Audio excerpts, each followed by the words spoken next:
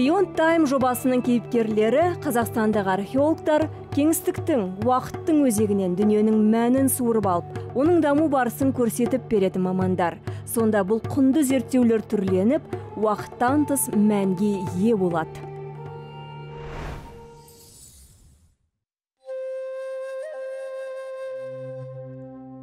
Шығыс қазақстан ұлан ауданының қызылтас ауылы. Облыс орталығы өскемен қаласы осы жерден 30 шақырым жерде орналасқан. Ежелден мал жанға толы бұл өлкеде көне қорымдар өте көп.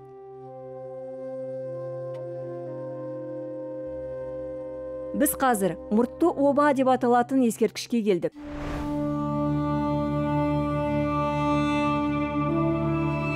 Оның аумағы өте үлкен. Ең алғаш 1972 жылы обаны ғылыми экспедиция барысында тауып есепке алған зейнолла самашұлы самашев. Мыңдаған жылдан бері шалғыны қаулай өсіп осы маңдағы ауылдардың малына жайылым болып қала берген. Атақты археолог тарих ғылымдарының докторы зейнолла самашев жарты ғасыр бойы ескерткішті зерттеуді ойлап сәтін күтіп жүрген екен. 2020 жылы өңірдің басшысы даниял ахметовтің мұрындық болуымен облыстық археологиялық зерттеулер бағдарламасының аясында жұмысты бастауға қолайлы жағдай туады. Мұртты оба сақ дәуірінен бастап әртүрлі кезеңге жататын бірқатар ескерткіштің жалпы атауы. Барлығының құрылымына ортақ ерекшелік ортадағы құрылыс пен екі тарапқа кететін мұрт. Мұрттардың көлемі ұзындығы бағыты салынған тәсілі әрқилы болғандықтан зерттеушілерге өте қызықты.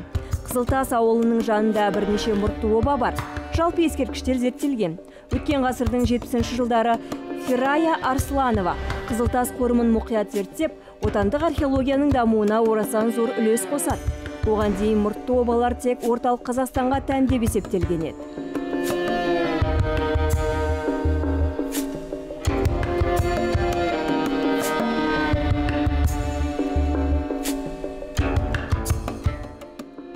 Үшін өте құнды біздің дәуіріміздің 8-9 ғасырларына жататын садақтың қаптамалары сынды қызылтастың жәдігерлері. Шығыс қазақстан музейінде тұр. Бүгінде ғалымдар зерттеп жатқан оба зейнолла самашевтың алдын ала болжам бойынша он сармат кезеңіне жатады. Мұны орталық құрылысқа қарап айтуға болады. Дегенмен обаның салынған мерзімі одан ертерек болып шығуы да мүмкін.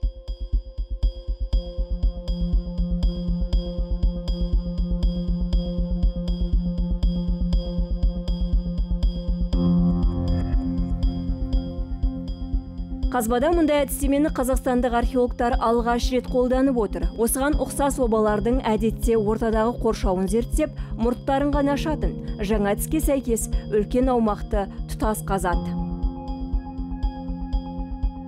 общая площадь раскопа у нас получается с 90 қазбаның жалпы аумағы жүзде жүз метр болады. Негізгі құрылыс пен іргелес аумақты ашылады яғни обаға жапсарлас құрылыстарды. Мәселен ғұрыптық құрбандық шалу орындарының бар жоғын анықтаймыз. Шамамен 30-40 сантиметр ғана тереңдейміз. Археологиялық нысандар орналасқан жерлерді қандай да бір құрылыстардың бар жоғын білу үшін әрине одан тереңірек қазамыз. Жоқ болса жалпы бір деңгейге келтіреміз. Если то будет общая на одном уровне.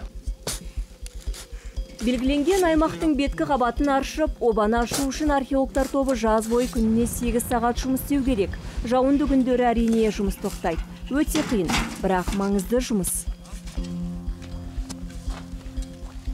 Шығыны көп нақты айтсам көп уақыт пен адам қажет. Бұл жерде қазбаны орто фото жоспар бойынша бөлу әдісін қолдандық. Оны петербор археологтарынан үйрендік. Тахиометрмен тиісті нүктелердің өлшемін аламыз. Ол геометриялық дәлдікті береді. Содан кейін қазбаны өзімізге ыңғайлы етіп саламыз. Мысалы бұрыш нүктелерін ара жиектерін белгілеп төрт бұрыш түрінде орналастыру делік. Тахиометрлік координаттарын алып аппаратқа енгізіп іздейміз де ана бұрышын мына бұрышын қалған екі бұрышын тауып аламыз. Сонда міне мынадай геометриялық дұрыс бірақ өте үлкен тік төрт бұрыш шығады. топта сәрсен аманжолов атындағы шығыс қазақстан мемлекеттік университетінің қазақстан тарихы кафедрасы сандық гуманитаристика мамандығында оқитын студенттер жұмыс істейді. Олар сол сандық технологиялардың көмегімен тарихты зерттейді деуге болады. Олар әдетте тахиометрмен жұмыс істейді және ғылыми қызметкерлер ретінде штатқа қабылданған. Дронмен түсіру тахиометрмен түсіру орта фото жоспарларды жасау және тағы басқа жұмыстармен айналысады. Әрине археологиядағы классикалық әдістемелерді де үйретеміз. Жастар археологияға зерттеудің жаңа әдістерін меңгеріп келеді. Это, можно сказать, только начало эры. Қазір геомагниттік электромагниттік сканерлер мен радарлар дәуірінің басы деуге болады. Олар кейбір нақты ақпаратты көрсетіп береді. Әрине ол деректердің мағынасын аша білу керек. Болашақта қазіргіден де дәлірек көрсететін аппараттар пайда болатын шығар. Қалай дегенмен де дәлдіктен ауытқудың аномалияның белгілі бір үлесі болады. Соңынан бәрібір тексеру қажет. Сондықтан қарапайым күректі археологиядан алып тастауға болмас.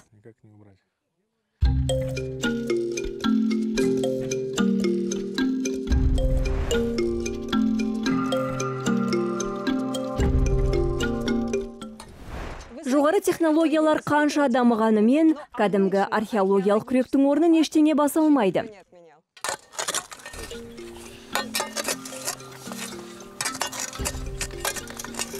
Топта студенттерден басқа жергілікті тұрғындар мен еліміздің басқа өңірлерінен шақырып алған мамандар бар.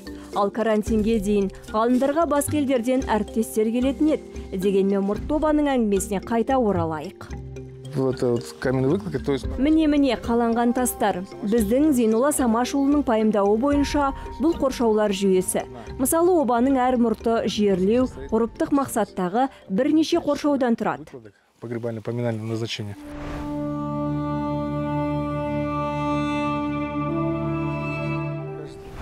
Осындай мұрттардан адам сүйегін таптыңыздар ма? Әдетте ондай болмайды. Бірақ ертеректеу кезеңдегі тасмола тағы басқа ескерткіштерде кездеседі. Яғни ол жерде әдетте екі орталық құрылысы болады. Біріне адамды екіншісіне жылқыны жерлейді. Бос күйінде қалдырылған кездер де болады. Оба мен оның мұрттарын ежелгі құрылысшылар жергілікті материалдардан салған тастарын жанындағы назар тауының бөктерінен алған. Қазбаның басындағы археологтардың негізгі болжамының бірі мұрттар тұтас тізілген тастар емес дөңгеленген қоршаулар тізбегінен тұрады. Әрқайсысында не жасырылғанын әлі анықтау керек. Ұқсас нысандардан басқа аса айырмашылығы жоқ біртіндеп иілген доғалар әдеттегідей шығысқа бағытталған бұл да сірә кездейсоқтық емес версий можно выложить тысячи. мың сан болжам айтып тіпті астрономиялық есептеулерге жатқызуға да болады ал дәл мына шығысқа күншығар жаққа өмірдің басталуына бағытталғаны. Кие тұтқандық? Иә о дүниелік өмірге сенім. Мұның бәрінің негізінде адамның қайта тууына сенім жатыр. Әр нысанның мәнін түсіну үшін археологтарға түрлі ғылымның жетістігін пайдалануға тура келеді. Оның ішінде химия биология математика физика сияқты нақты ғылымдар да бар. Тарихи дереккөздерге қарағанда археологиялық мәліметтер күрделірек. Оларды оқи білу үшін археолог бірнеше ғылыми пәнге жүгінеді.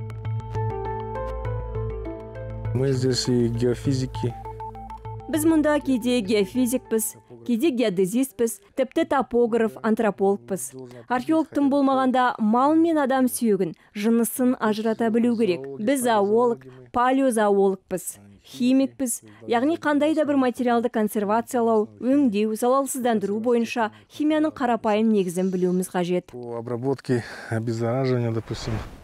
Археологтар тобының жетекшісі елдос қариевтің әріптесі самат самашев қазбаға елордадан келіп қосылған. Бірақ туған жері осы өлке бестерек ауылының тумасы. Бұл экспедицияға ғылыми қызметкер ретінде қатысып жүр. Самат табылған жәдігерлерді сипаттаумен және басқа да ғылыми зерттеу жұмыстарымен айналысады. Бала кезінен бұл жердің ерекшелігін киелі екенін жадына тұтып өскен. Оқушы кезінде мұнда тарих сабағының мұғалімімен бірге келіп жүрген екен. Қазмудың бакалавриаты мен магистратурасын аяқтаған қазір археология және этнология мамандығы бойынша еуразия ұлттық университетінің докторантурасында оқиды.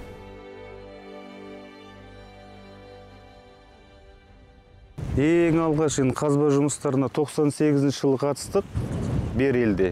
Сол зейнолла ағаның жетекшілігіменен сол берел қорғандарын ең алғаш сол кезде барып қазба жұмыстарына қатыстық сол кездер сол берелден 11 қорғанды қазып жатқан кезде әлгі 13 жылқылар дейді соның мүйіздерін көрдім сол керемет бір сәтте деп айтуға болады өрнектеліп жасалған. Енді басқа да заттар болды ол жерде көптеген енді айта берсе көп. Сол бір мүйізі сол жылқының жылқыға тағылған маскадағы мүйіз сол әсер етті деп айтуға болады сол кезде. Керемет. Самат бізді ғалымдар жазғы маусым бойы тұратын археологиялық лагерьдің өмірімен таныстырып шықты. Бұл енді алдымызда тұрған палатка шатыр. Бұл енді лаборатория далалық лаборатория. Осы жерде енді қазба барысында табылған заттарды өңдеп ә, олардың анықтамасын жазуға тағы басқа зерттеу жұмыстарына арналған шатыр. Бұл жақта да бізде міне ғылыми қызметкерлер жұмыс жасайды. Осы жерде отырып табылған ә, керамиканың сүйек басқа да тастан жасалған тағы да басқа да табылған жәдігерлермен жұмыс жасайды. Оларды анықтап ә, қысқаша сипаттамасын жасап нөмірлеп деген сияқты тағы басқа сол сияқты жұмыстар жасайды осы жерде отырып бұл да енді археологтарға арналған вагон. Осы жерде енді зинула самашевич тағы да басқа ғылыми қызметкерлер осы вагонда тұрады. Ішінде енді арнайы жабдықталған үстелі бар басқа дағы ә, сол жерде отырып жұмыс істеуге өте ыңғайлы компьютермен тағы басқа жарықты мына жақта тоқ тартылған барлығы жарық барлығы келіп тұр бұл жерге. Өте қолайлы жұмыс істеуге ыңғайлы. Бұл жер енді ақбауыр қалаға жақын жер. Одан кейін бұл қорықтың іші болғаннан кейін бұл жерде бұндай жағдайлар жасалған жақын жер болған. Ал енді алыс таулы аймақтар немесе алыс далалық аймақтарда қазба жұмыстарында енді движок деген болады қолдан генераторменен сол арқылы ә, тоқты сол арқылы алады. Мынау алдымыздағы ә, далалық ас үй деп айтуға болады. Шатыр тігілген арнайы осы жердегі ә, археологтар және қазбаға қатысушылар осы ас үйде тамақтанады. Таңертең түсте кешке. Біздің ас үйіміз дастархан отырып тамақ ішетін шай ішетін жеріміз тамақ әзірлейді деген сияқты. Лагерьдегі ас мәзіріне келетін болсақ археологтардың азығы консервідегі бұқтырылған ет пен макарон ғана емес. Елдос қариев ежелгі көшпенділердің тағамдарын әзірлей біледі. Біз тарихи реконструкцияның куәсі болып ерекше астан дәм таттық. Етті қарынға саламыз. Бұл сонда қойдың тұтас еті ғой иә? Иә бір қой ғой почти тоқты. Тұз бұрыш енді әр адамның өз дәміне байланысты әртүрлі етке арналған приправамыз болады қара бұрыш қызыл бұрыш кесек қылып тураған тоқтының етін қарынға тығыздап салған соң оны алдын ала дайындап қойған шұңқырға алып барып сыртын жақын маңдағы бұлақтан әкелген сазбен қалыңдау қылып сылады.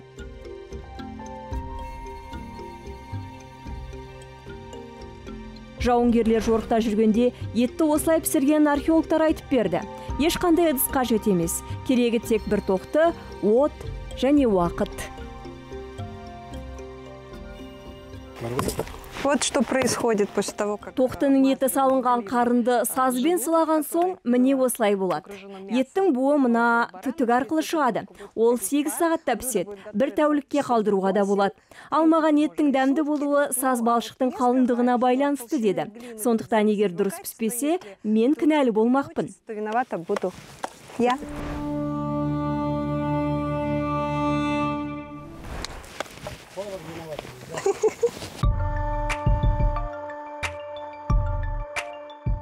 сазда піскен еттің дәмді болғаны соншалық тез арада тауысып қойдық. Айтпақшы бұл тағамның аты көмбе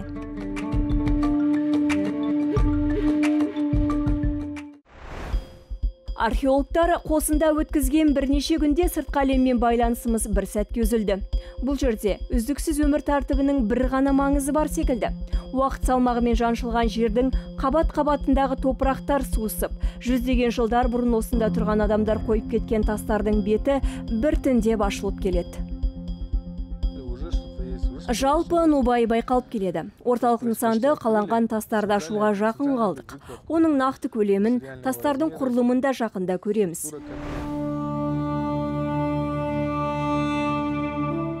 Екі мұрттың шетін міне қазып жатырмыз. Аумағын кең қылып қазғанның нәтижесін көріп тұрмыз. Анау жерде бір қатардағы құбылыстар байқалып келеді. Мұрттың бас жағында әлдебір шашылған тастар шығып жатыр. Ғалымдар ғұрыптық және басқа арнайы құрылыстардың табылуынан үмітті. Көмбе дәмді болып дайындалғанша көп уақыт өткен еді. Біз де археологтар еңбегінің пісіп дайын болған нәтижесін көру үшін маусым соңында мұнда қайта ораламыз. Ақбауыр тауының етегіндегі лагерь нысандардың қыста сақталуын қамтамасыз етіп қорытынды жасауға дайындалып жатыр екен. Странное ощущение в этом году. Неза- Долго, не- долго, не- долго не- начинать. Незавершенности, ощущение незавершенности. биыл біртүрлі қызық сезім пайда болды әлденені аяқтамаған сияқты уақыт жетпей қалғандай ойлағанның бәрін іске асыруға мүмкіндік болмағанына өкініш сезімі бар К сожалению, не, удалось э, осуществить то, что задумано было.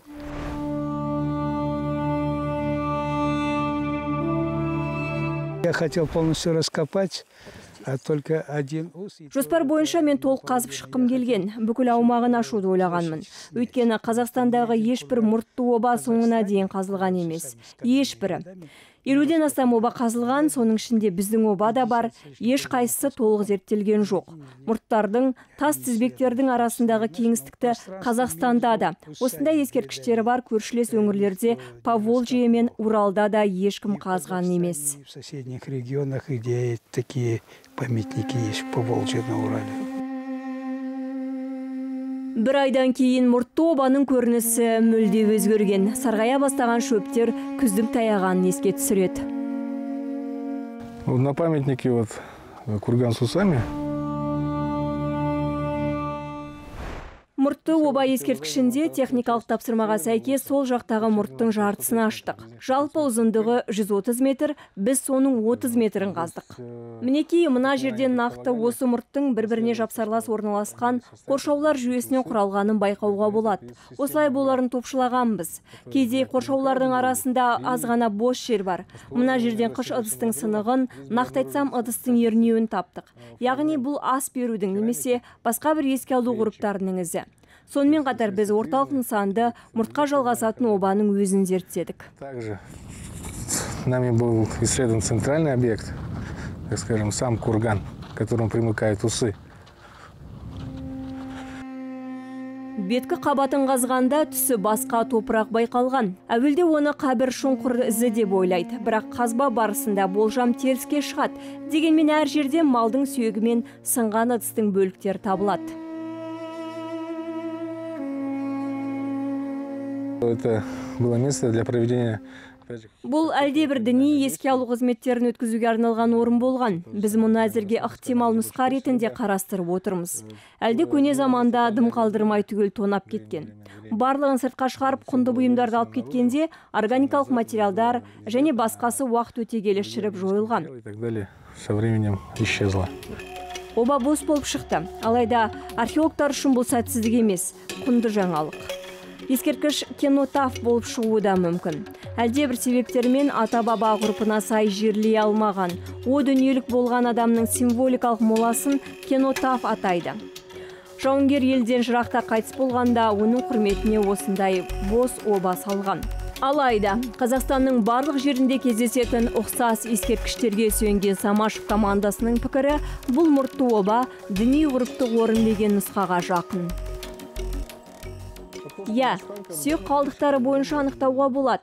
Біз әрине радио көміртекті талдаумен мерзімін анықтаймыз. бірақ ол сүйектердің ескерткіштерді салу уақытына қатысы жоқ болуы да мүмкін ғой. Олар мысалы байырғы тонаушылардан қалған тамақ қалдықтары да болуы мүмкін дегенмен талдау жасаймыз. Біраз қыш ыдыс сынығы сақталған. Яғни біз ол ыдыс бойынша да салыстырмалы мерзімдеу немесе термолюминесцентті әдіс арқылы белгілі бір қорытындыға келе аламыз. Қазір ескерткішті зерттеудің алғашқы қадамын ғана көріп отырмыз. Аумағы 130-да 100 метрлік алаң толық ашылады. Археологтар ескерткішті әлі екі жыл зерттеуді жоспарлап отыр. Әрқилы кезеңге жататын құрылыстарды жасырып жатқан беткі мықты қабаты селдің әсері болса керек. Мұндай ауқымды әдіспен зерттеліп жатқан шығыс қазақстан аумағындағы алғашқы ескерткіш ретінде оба өте маңызды нысан. Ол ежелгі адамдар мұртты обаларды қандай мақсатта салғанын түсіну үшін ғалымдарға жаңа материалдар береді. Тоже один из, феноменов. бұл мәселеде әлемдік археологиядағы феномендердің бірі. Біреулер обаның мұрттарын күнмен және тағы басқамен байланыстырады. Яғни жан жақты толық зерттеу көптеген сұраққа жауап тауып берер еді. Мұрттар күн сәулесіне ұқсайды. Және осы далаға келген ұғын тайпалар шыққан елдегі айдаһардың мұртын меңзеуі мүмкін деген теория ғана. Ал мұрттардың нені жасырып жатқаны шынымен қызықты. Обаның әр мұрты қоршаулар тізбегінен тұрады. Қоршаулардың ішінде әртүрлі уақытқа жататын жерлеу орындары болуы мүмкін. Қазір ас беру еске алу ғұрыптарының іздері байқалады. Яғни мұрттарды салған адамдар оларды рулық қорым және діни ғұрыптарды атқару орны ретінде пайдаланған. В районе Северного Уса была найдена керамика. Вот, венчик сильно отогнутый. Сол жақтағы мұрттың маңынан қыш ыдыстың сынығы табылды. Міне ыдыстың ернеуі сыртқа қарай қатты иілген. Бұл ернеу кең тіпті жалпақтау тостаған немесе басқа ыдыстың бөлігі. Ұқсас жәдігерлерге қарап көреміз. Бұл ыдыс ғұндарға тән деуге болады. Жалпы кешеннің мерзімі әртүрлі болуы мүмкін. Ол жерден түрлі дәуірге жататын ескерткіштер шығуы ғажап емес. Вообще может быть комплекс разновременный. Там могут разные памятники разных эпох. Әзірге ғалымдар ешқандай қорытынды жасаған жоқ. Олар обаның құпиясын ашуға енді ғана кірісті. Вот это явление мен бұл құбылысты ғұндардың шығыстан батысқа жылжуымен байланыстырамын.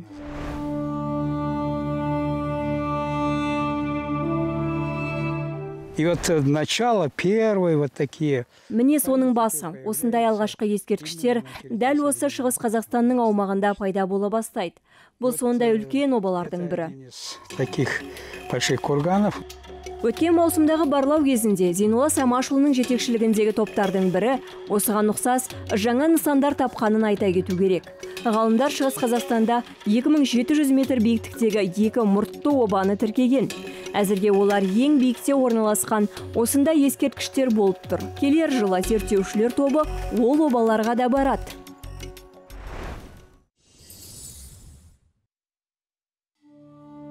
Ақбауырдағы маусымның соңында ашылған жаңалықтарды қорытындылай отырып болашақ туралы да сөз қозғайық келесі жылы қазақстанның тәуелсіз ел болғанына 30 жыл толады тарих толқынындағы еліміз туралы толғанудың да сәті келген сияқты Без прошлого не бывает будущего. Это не обычная фраза, это имеет глубокий смысл.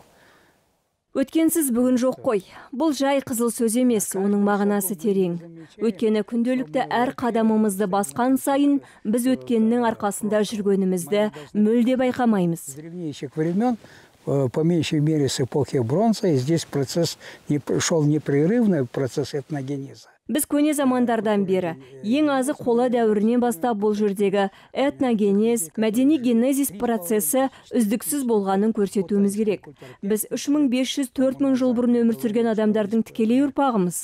Әрине 5000 жыл бұрынғы ботай мәдениеті бар. Ата бабамыз жылқыны қолға үйреткен дейміз. Қолға үйретіп қымыз ашытқан. Міне олардың ұрпағы мына біз әлі күнге дейін бие байлап қымыз баптап отырмыз. біз өз мәдениетімізді тілімізді сақтап қалғымыз келеді. олар осы археологияның өткен тарихымыздың арқасында сақталып қалды. Қазір біз дәстүрімізді түрлі салттарымызды қайта жаңғыртуға тырысып жүрміз. ол салттардың тамыры тереңде өте тереңде жатыр. Соны іздейміз.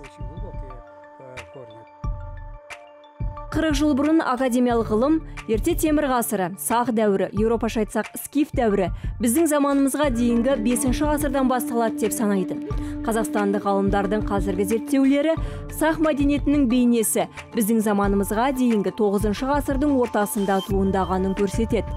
Мұның дәлелі елеке сазындағы обалардан 2019 жыл табылған жәдігерлер. Ол туралы Beyond Time жобасының келесі бағдарламасында баяндаймыз.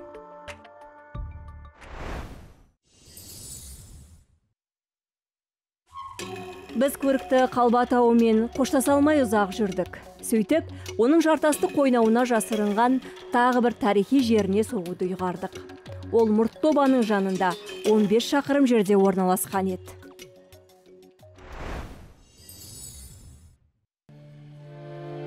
Сибин көлдерінің маңындағы таудың бөктерінде 17 ғасырдағы абылай кит будда бекініс монастыры орналасқан. Ламаистік ғибадатхана үлгісін қазір қорған деп атауға келмес қиранысы ғана қалған. Археологтардың бірнеше жыл осында істеген жұмысының арқасында ғана құрылыстардың нобайын аңғаруға болады. Олар қабырғалардың қалдығын ғасырлар бойы басқан топырақтан тазартып шықты. Құлшылық орнын 1654 жылы жоңғар тайшысы абылай салдырған. 18 ғасырда жоңғарлармен күресте шешуші рөл атқарған қазақтың ханы абылаймен шатастыруға болмайды. Бұл жерге туристердің қызығушылығы өте зор. Келген адам құрылыстың ауқымына тәнті болар анық.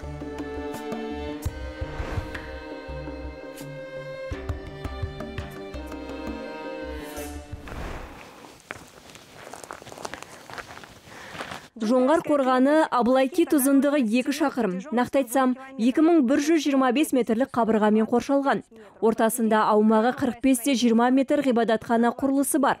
Ол буддизм стилінде салынған. Ғимараттың аспан түстес қыш жабыны бар тамаша шатыры болған. 17 ғасырда бұл кешеннің қандай болғанын елестете беріңіз.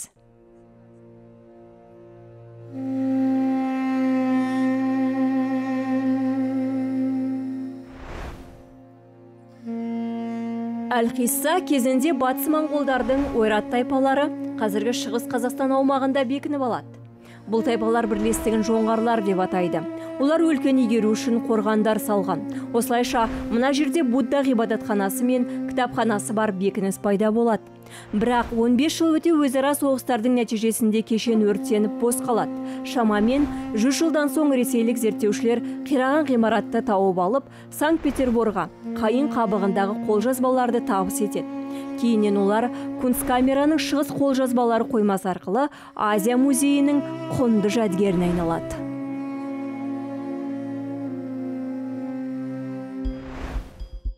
Бұл жинақтың бүгінгі мұрагері ресей ғылым академиясының шығыс қолжазбалары институты. 2019 жылы өскемендегі алтай түркі әлемінің алтын бесігі конференциясына институттың ғылыми қызметкері наталья ямпольская келіп зерттеулерінің нәтижесімен бөліскен. Мамандардың ресейдегі жинақпен қатар қазақстандық археологтардың жаңа олжаларын зерттеуіне мүмкіндік туады.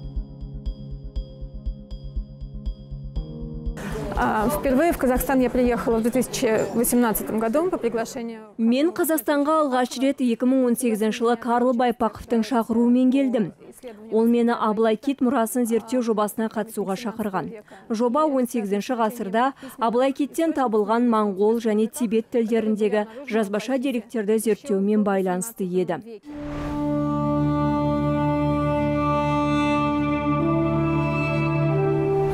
Қазіргі уақытта әлемде бізге белгілі қайын қабығындағы моңғол қолжазбалары көп емес. Моңғолияның бірнеше жерінен сондай жәдігерлер табылған. Әдетте олар 17 ғасырға жатады. Абылай кетте сондай фрагменттер табылған орынның бірі болды. Фрагменттердің ерекшелігі неде десеңіз бұл жай ғана моңғолша жазу емес. Бұлар анық жазулар.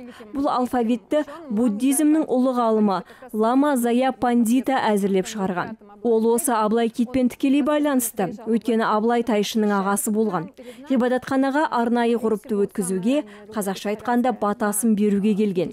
Бұл сірә қайын қабығындағы ең көне ойрат қолжазбасы. Тіпті сақталған жәдігерлердің ішіндегі ойрат қолжазбасының ең көнесі болар. Сондықтан қай жағынан алсақ та өте сирек дүние. Сол себепті қазір абылай киттен табылып жатқан қайын қабығының фрагменттерін зерттеу өте маңызды. Егер осы жұмысты соңына дейін жеткізіп мұны жариялай алсақ бұл олжа сенсациялық жаңалық болар еді. Абылай киттің тағы бір таңғаларлық ерекшелігі 18 ғасырдан бастап қорғанның егжей тегжейлі суреттері мен жоспарлары сақталған. Соларға сүйеніп кешенді толық қалпына келтіруге болады. Бір өкініштісі биылғы жылы ескерткішті зерттеу жалғаспады. Ізденген адамдарға құпиясын ашуға дайын тұрған абылай кит қайтадан қараусыз қалды.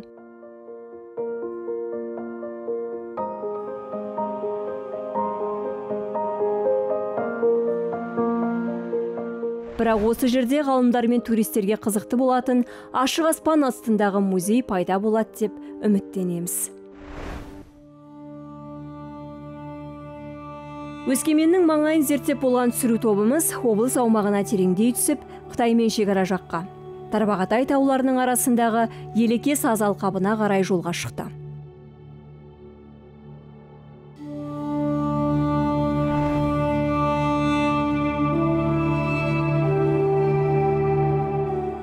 Жер қойнауынан алынған жәдігерлер нағыз зерттеушінің қолына түскенде ғана уақыт безері көзден таса қылған оқиғаларды айқын да анық көре аламыз.